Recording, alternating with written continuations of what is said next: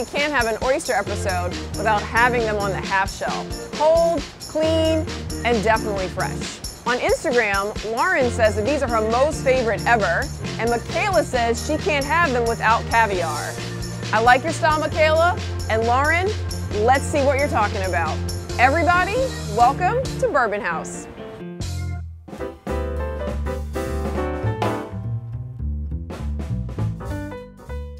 Welcome.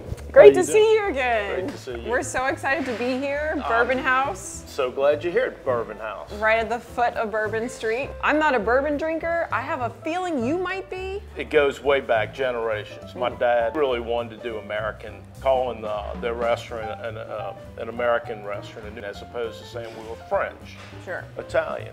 And so years ago, he would say, drink bourbon, it's American. So when we opened this restaurant up, we really were a seafood restaurant, but we wanted, we're on Bourbon Street. We said, let's, if we're gonna have a whiskey, let's feature one. Wow. And that's when we decided to do bourbon. Well, they're, um, the knobs are NOBS, right? So Right. New Orleans Bourbon Society, is that? That's so a group of uh, the Knobs members are trying to become what we call master tasters. And so we have this pass booklet, and there are 60 bourbons in there. And as you try, you get a stamp. And when you've completed that book, you get to go up on the wall Wow. as one of our master Wow, tasters. very cool. Which uh, that's a commitment, Uh, you know. And a deep commitment. Close Yeah. to 50 people have reached that. There's something about bourbon. Yeah. And it's magical. Well, with the bourbon, you have some excellent oysters. So should we get to shucking? Always. Always. That's a great idea. We're here with Mr. Ricky Lee. How long have you been shucking oysters? uh, over 20 years. First of all, Ricky's a rock star. Yes, he Um, is. Several years back, the Masters Golf Tournament wanted to put in a new restaurant for the tournament, and they wanted to do an oyster bar. So, of all the people that shuck oysters, this man was asked to go shuck oysters at that two week long. How many oysters did you shuck there? Oh, five to 10,000 oysters. Wow. Yeah, so, Wow. uh, It's a lot of but- shucking going It on. is a lot of shucking. Do you eat oysters yourself? I'm more of a texture guy, or whatever like that, but That's actually I'm a just good a, I'm just a shucker, not the sucker. But recently, uh, we've started doing another style of an oyster called, it's, you know, you have on bottom, and we started doing off bottom harvesting. This is a bag of the traditional oysters that we're looking at here that come off the bottom.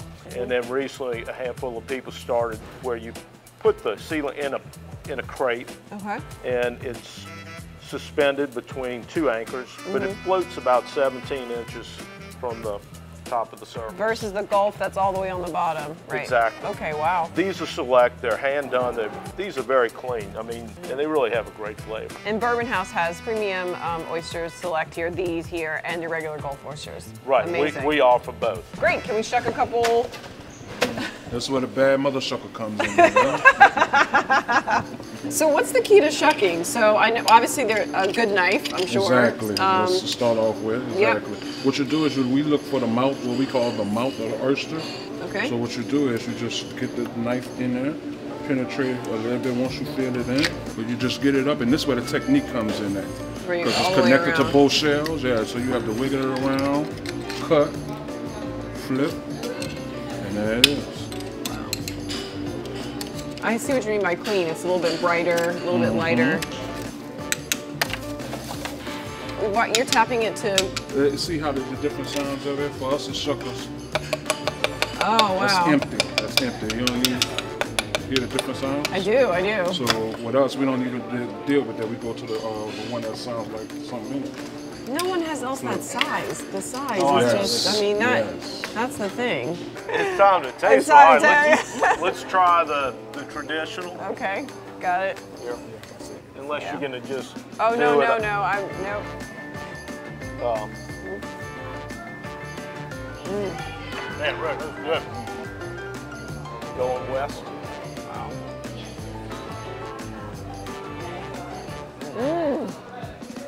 Thank you. Um, Boy, a lot of flavor. a lot of flavor.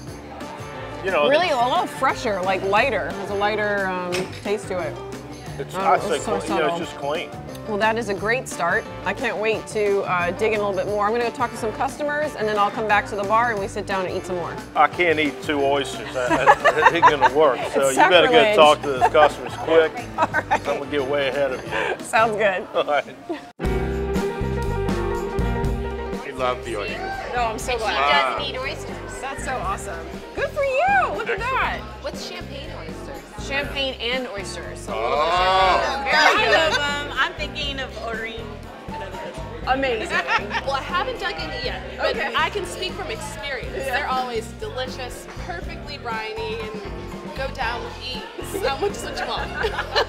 We had the oysters. Oh, cool. Great. They were good. Two thumbs up. Listen, crab on them. They were buttery, and they went down smooth. Awesome. I suggest that you get them.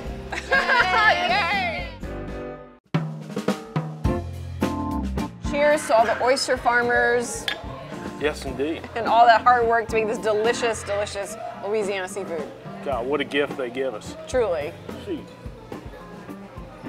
So we have all of our um, sauces that go with it. So I know our standard cocktail sauce, horseradish. What's you got here? Mignonette. Mignonette. You know, you have traditional, so much traditions in New Orleans, and certainly with oyster bars, it was all traditional things like cocktail sauce. Right. But in the old world, they use this mignonette. It's mm-hmm. basically shallots and vinegar.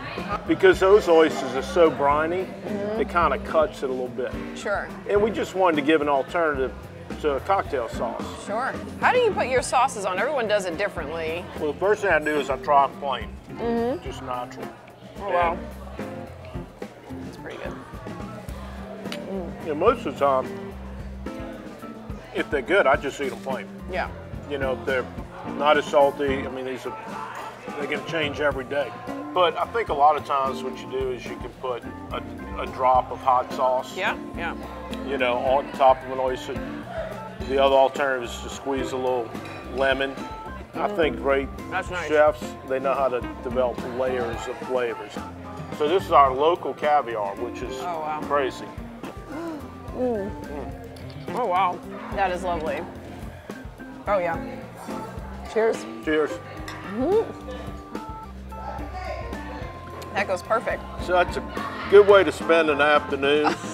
they were doing Get a very bottle good. Of, bottle of champagne, some oysters, some caviar. Not only is this good food, but you're doing uh, good things and working for to support good people with recycling of the oysters. Can you talk about the program that you guys have? It was a handful of years ago when I was driving down the, the Shell Beach, and there was this huge mound of limestone rocks. So they could take it out to rebuild oyster beds. We're trying to relocate oyster beds. I'm like, there's no limestone anywhere around here. How much is it costing us to buy it, to get it here? You know, when all of our oyster shells go to a landfill. Yeah. It made no sense. Right. So we started working on the concept of recycling our oyster shells.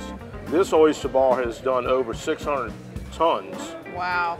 This is such an experience, and this is very unique and only in New Orleans. Very, very proud to be from here, as you are as well. And I think that this is a totally the reason why I love to eat and why New Orleans is so unique and so special. People ask me all, all the time, what would be my last meal? And I'm like, it would be impossible, but I gotta say, tops on my list is oysters.